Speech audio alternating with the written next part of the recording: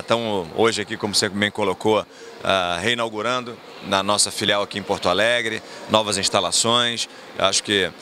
a altura do que a Sul América está querendo levar para o mercado, instalações modernas, uh, com o conceito de espaços colaborativos, uh, para que as pessoas venham para cá, os corretores venham para cá, os clientes venham para cá e podem usar a casa, porque a Casa Sul América é a casa dos corretores e a casa dos clientes. Muito então, pode vir. Muito bem. Eu fiz um, tomei a liberdade de fazer, retroagir desde o teu,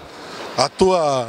o teu comando, né, o início do teu comando na vice-presidência comercial nacional e de marketing. E olha, faltou papel, a minha caneta aqui, ó, sabe que eu vou para caneta também, não é só computador. As ações, né, a criatividade, as inovações que tu propôs por teus parceiros de negócio, esse é um caminho sem volta, né? Tem que ser bom para quem lá na ponta distribui os produtos da Sul América Seguros e bom para a garantidora Sul América.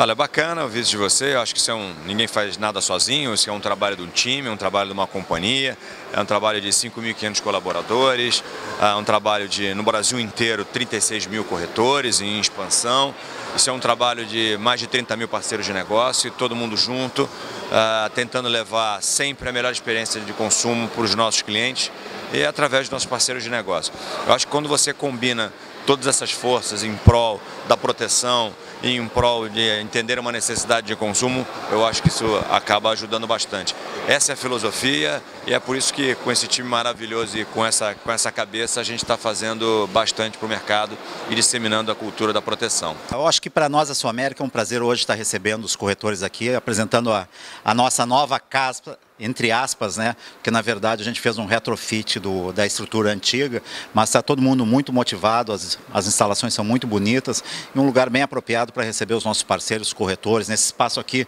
a gente atende os nossos clientes, no caso, no centro de atendimento ao Segurado Sul América. Eu acho que é importante a gente ter um lugar aprazível para receber os parceiros da companhia, quer sejam os corretores, prestadores de serviço e até os nossos clientes. Na apresentação que tu nos levou lá em cima agora, na, na parte administrativa, hoje em dia até tecnologia comanda tudo, né? Mas eu observei dois espaços que eu achei muito legal conversando com um cidadão ali, um outro corretor, que é o corretor que chega, tem um espaço para ele sentar, tem uma revista, tem um cafezinho, ele vai ali, pode pensar alguma coisa e depois se reunir com o executivo da Sul América. É, na verdade a gente no primeiro andar tem duas salas de reuniões boas para receber até 10 pessoas em cada uma delas, e aquele espaço que tem ali é para quando o corretor, o gestor ou gerente, enfim, alguém da Sul América convida um corretor para subir lá na, na, na, área comercial, ele vem entregar um envelope, vem bater um papo, tal, tal, e aí tem um lugar que o gestor pode sentar com ele, tomar um café, uh, conversar, enfim, é um, um lugar bem aprazível,